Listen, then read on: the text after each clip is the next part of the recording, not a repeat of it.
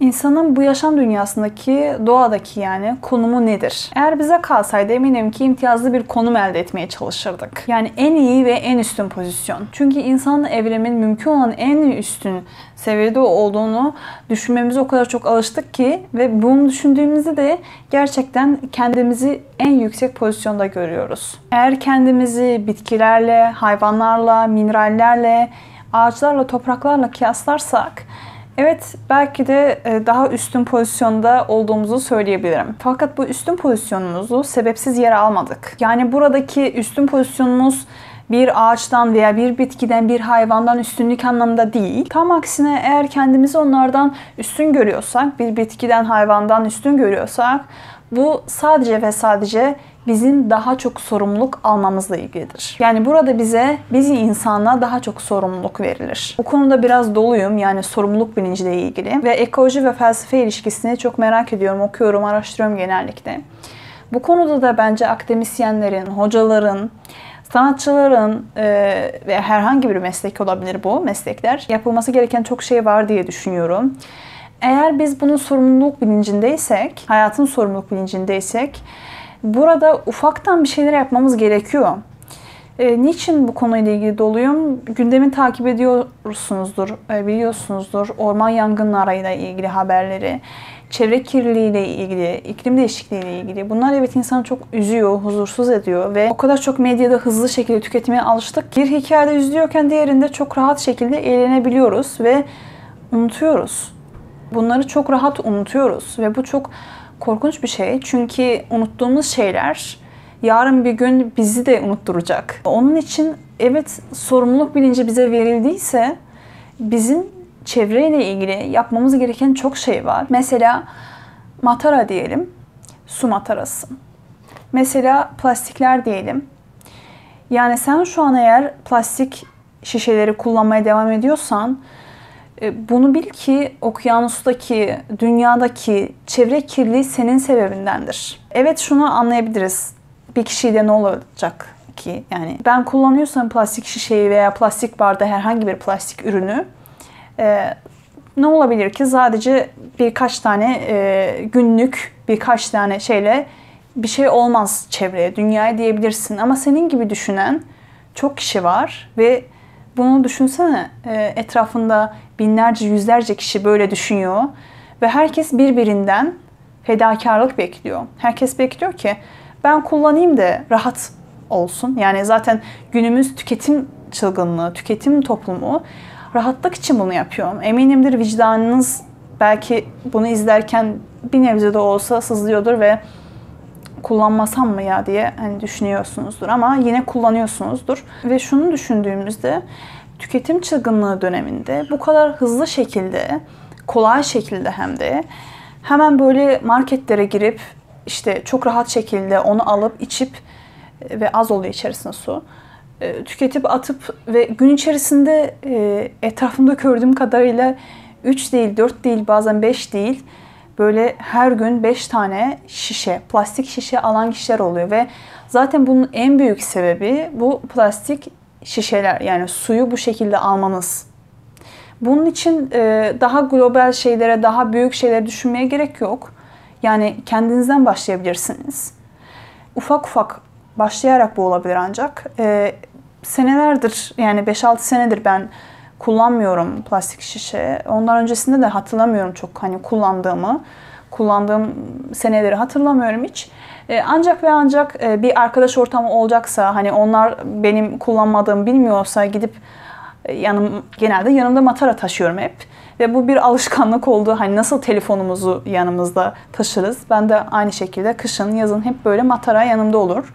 İçerisinde su. Evet zorlandığım noktalar bazen olabiliyor. Mesela köylere gittiğimde, seyahat için bir yerlere gittiğimde e, tatil için. Orada su bulamama gibi bir durumlar oluyor. Bir çeşme bulamıyorsun, kaynak bulamıyorsun.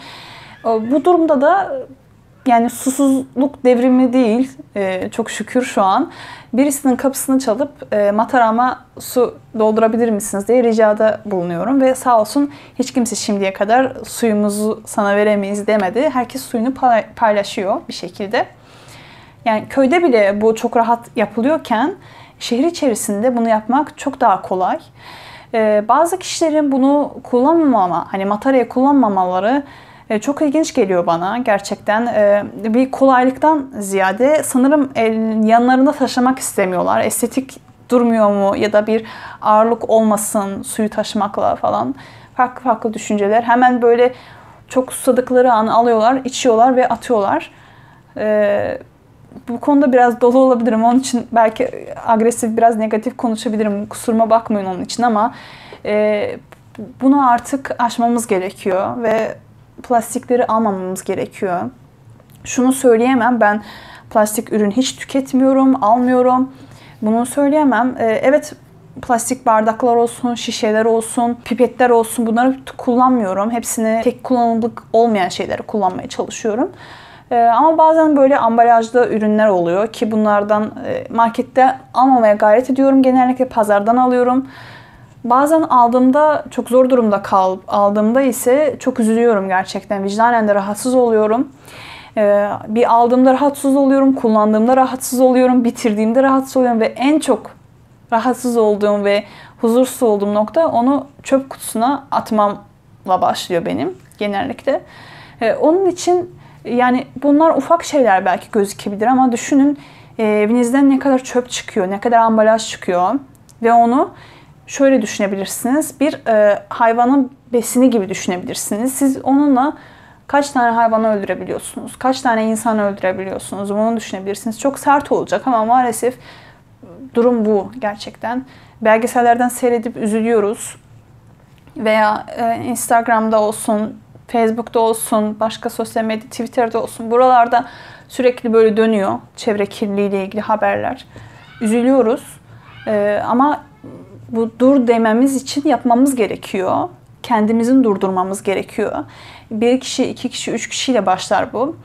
Ben mesela şunu e, çok seviniyorum. Gerçekten çok mutlu oluyorum. Etrafımda matara kullandığımı gören kişiler e, bu seneler içerisinde e, bilinç altında bir şekilde hani hemen kullanmasa bile bir evet ya güzel bir şey yani rahat da kullanıyor. Ben bunu ne zaman görsem elinde matara geziyor falan ben de mi yapsam diye düşünüyorlar ve belli bir süre içerisinde ben birkaç kişinin matara kullandığını gördüm yani. Çok mutlu oldum, çok sevindim. Bu benim yaptığım bir şey değil. Bunu hani övünerek söylemiyorum. Sadece e, bir bilinç ve bir örnek kazan örnek olmak insanlara çok önemli bir şey. O da eminim başka kişilere örnek oluyordur ve bu böyle kelebek etkisi gibi devam ediyordur. E, bunun için e, bunu yapabiliriz en azından. Evet küçük bir şey gibi gözükebiliyor. Eminim bunu düşünüyorsunuzdur veya çok e, anında başlamak için konforlu bir şey değil. Bunu da eminim düşünüyorsunuzdur. Ama diğer türlü olmuyor maalesef. Plastikleri hayatımızdan çıkarmamız gerekiyor. Yani burada evet birçok üründen belki vazgeçmeniz, birçok markadan vazgeçmeniz. E, aynı zamanda şunu da düşünün ki kendi hayatınızdan vazgeçmiyorsunuz. Bunlardan vazgeçiyorsunuz ama kendi hayatınızdan vazgeçmiyorsunuz. Ama eğer onları kullanmak istiyorsanız o zaman kendi hayatınızda bir şekilde vazgeçmeniz gerekiyor. Onun için bu ikilemi düşünmeniz gerekiyor. Ya hayatınız ya da markalar veya konforunuz, rahatlığınız. Burada bu konuyla ilgili ben böyle ara sıra videolar atmayı düşünüyorum. Ee, yani yaptığım deodorantlar olsun, diş macunları olsun. Bunları da aslında bir, bir nebze sebeplerimden bir, bir tanesi de plastik tüketmemekle ilgili olarak yapıyordum onları da.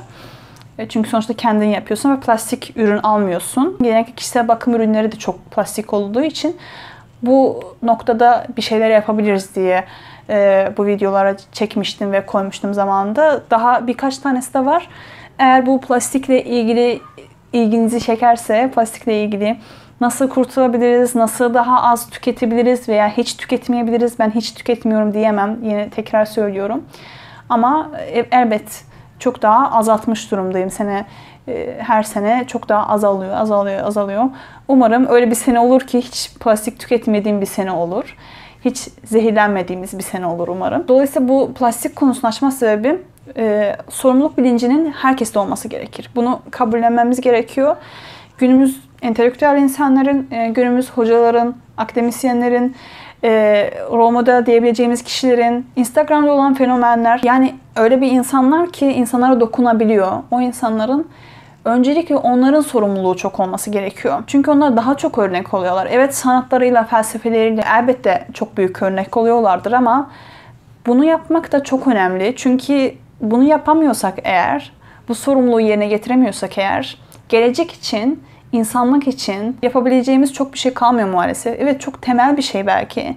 Daha üst kavramlar konuşabilirdik. Daha erdemlerle ilgili olsun, felsefeyle ilgili olsun, sanatla ilgili olsun konular konuşulabilir. Ama bu, bu inanın çok daha önemli. Gelecek kardeşlerimiz, gelecek nesiller için çok daha önemli bir konu. Ee, onun için e, bu etkiyi yaymak için bir şeyler yapmamız gerekiyor. Sorumluluk almamız gerekiyor. Yani bu sorumluluk bir mineralin, bir ağacın, bir hayvanın yaptığı bir şey değil. Tam aksine bir insanın yaptığı bir şeydir. Onlar zaten çalışıyorlar. Onlara bir şey söylemeye gerek yok. Onlar zaten sürekli ağaca örnek alalım. Sürekli gölge veriyor, meyve veriyor. Sürekli çalışıyor. Say say yani bitmez onun yaptığı şeyler zaten. Ee, veya hayvanlar olsun veya mineral olsun, toprak olsun. Onlar sürekli veriyor zaten. Dolayısıyla bizim yani insanlığın burada daha çok yükü var. Daha çok sorumluluğumuz var. Bunun farkında olmamız gerekiyor. Farkında olsak eğer kendi konumumuzu anlayabiliriz. E, nerede konumlandığımızı anlayabiliriz. Çünkü konumlandığımız noktayı minerallerden, hayvanlardan, bitkilerden ayırt etme yeteneği aslında düşünme yeteneğimizdir. Bizim düşünüyor olabilmemiz yeteneğimizdir. Fakat bu düşünme yeteneği doğanın kanunlarına karşı olacak değil. Yani çevreyi kirleterek olabilecek bir şey değil. Bu düşünme yeteneği bir uyum, bir birlik içerisinde ve bir harmoni içerisinde olması gerekiyor. Yani hepimizin, hepimizin aynı anda çalışarak, sorumluluk alarak, bir şeyler yaparak olması gerekiyor. Şimdi bu konuyla ilgili aslında çevre ve insan, doğa ve insan ilişkileriyle ilgili daha derin değinebiliriz. E, bu konuda derin ekoloji kavramı var. E, isminden de belli olduğu için derin. Yani biraz daha derin konular bunlar. E, eğer ilginizi çekerse, sıkılmıyorsanız eğer e, derin ekolojiyle ilgili bir video çekmeyi isterim, düşünürüm. E, zaten o konularda araştırmalarım devam ediyor. Ama şimdi biraz daha e, farklı bir noktada yeni çevre insan ilişkileri üzerinden bir daha ne yapabiliriz? Nasıl olabilir? Biraz daha basitleştirerek bu konuyu ele aldım. Bu sorunları minimize edilmesinde alınması gereken en büyük tedbirlerden biri, belki de en önemlisi sağlam bir çevre bilincinin oluşturulması ve giderek bu çevre bilincini geliştirmek ve insanlarla paylaşmak. Bunun için de tabii ki de felsefeden yararlanacağız ve felsefi bilinçten yararlanacağız. Kısaca şöyle özetleyebilirim. Öncelikle yani birinci olarak çevreye olan bakış açısı değerlendirilmeli, çevre tüketilebilecek bir şey gibi görülmemeli ve en önemlisi asla ve asla kazanç deposu olarak değerlendirilmemeli. Çevre eğitimi yaygınlaştırıp geliştirerek daha büyük bir çevre bilincini oluşturulmalı. İnsan merkezci bir etik anlayış yerine çevre merkezci bir etik anlayışı konumlandırılmalı. Mekanik doğa tasarımı yerine doğal doğa tasarımı öne çıkarılmalı. İnsanları bilinçlendirerek ekolojik yurttaşlık modelini geçirilmeli. Ahlaki öncelikler gözden geçirilerek yeni bir çevreyi içine alan bir ahlaki anlayış öne çıkarılarak yapılamaya gidilmeli. İnsan ve doğa arasındaki ilişkinin ekolojik olarak sürdürülebilirliği sağlanmalı. Ve bu söylediğim 7 tane madde daha önce makalelerde belki görmüşsünüzdür eğer bu konuları araştırıyorsanız. Eğer biraz daha derin e, bilgi edinmek isterseniz makaleyi ben açıklamalar kısmına yerleştireceğim. Oradan da bakabilirsiniz. Peki sorumluluk sorumluluk diyorsunuz da ne yapabilirim diye sorabilirsiniz. Yani farklı mesleklerde çalışıyorsanız veya hiç çalışmıyorsanız veya öğrenciyseniz eğer. Bunun için öncelikle kendinizden sormalısınız. Ben ne yapabilirim? Ve etrafınıza bir bakmalısınız. Belki direkt böyle bu videoyu izlediğinizde odanızda olabilirsiniz. Odanızdaki duruma bakabilirsiniz. İş yerindeyseniz yine odanızdaki duruma bakabilirsiniz. Baktığınızda bazı şeyler eğer canınızı sıkıyorsa, vicdanınız rahatsız oluyorsa onlardan başlamalısınız diye düşünüyorum. Ve bu noktada hmm, sanırım bir şeyler yapabilirim diye düşünseniz, bunlarla eğer ilgilenmek bile istemeseniz, eğer bir bilim insanıysanız bu noktada daha çok sorumlu kalabilirsiniz belki. Çünkü bu konuda makalelerin yetersizliği oluyor genellikle. Veya çevre bilinciyle ilgili daha güzel konulara değinebilirsiniz. Daha derin konulara değinebilirsiniz. Ben üniversitede mesela şunu anlayabildim. Eğer üniversitede çalışan bir hocaysanız e, diyelim ki banka ve finans dersi hocasısınız veya bir işletme. Çok alakasız gözükebiliyor değil mi doğaya? Yani doğayla ilgili ne yapabilirim diye düşünebilirsiniz. Ee, ama bu şu demektir. Bu konu gerçekten herkesin sorunu. Ve bir şekilde doğaya bağlayabilmeyeceğimiz ve doğaya ilişkilendirebilmeyeceğimiz hiçbir konu yok. Ve bunu eminim bir şekilde siz de kendi derslerinizde bütün derslerinizde değil tabii ki ama bir dersinizde öğrencilerinize bu çevre bilincini aşılayabilirsiniz. Veya bununla ilgili makale yazabilirsiniz. Şu an aklıma gelmiyor ne yapılabilir ama sanki matematik ve doğa ilişkisiyle ilgili güzel şeyler ortaya çıkabilir diye düşünüyorum. Dolayısıyla hocaların, akademisyenlerin bu konuda daha çok şey yapılabilir diye düşünüyorum. Çünkü onlar direkt öğrencilere, direkt insanlara dokunabiliyorlar. Aynı zamanda sanatçılar için de bu geçerli. Çünkü şöyle bir durum var. Sanatçıların doğa ilham kaynağı.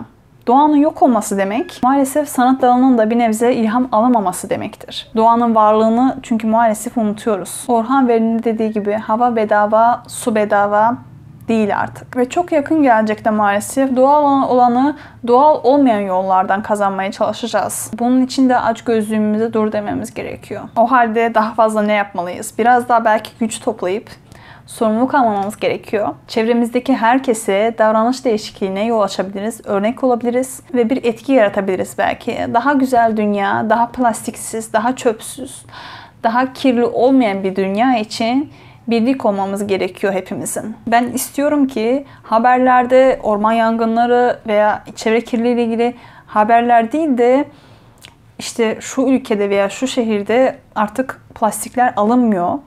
Ee, marketlerde plastikler alınmıyor diye e, bazı kişilerin, bazı kesimlerin üzüleceği bir habere biz sevinebilelim, mutlu olabilelim.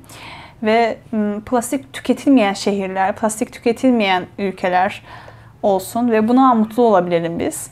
E, çünkü bunun olması demek bir e, değişimin, bir dönüşümün olması demek gerçekten. Dolayısıyla böyle güzel haberlerde görüşmek dileğiyle.